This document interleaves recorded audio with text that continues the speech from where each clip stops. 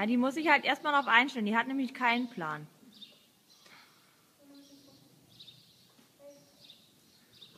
Völlig richtig. Schnuppern soll er. Manchmal fangen die so ein bisschen an zu kauen an den Hinterbeinen von den Stuten. Ja, so sieht das doch schon gut aus.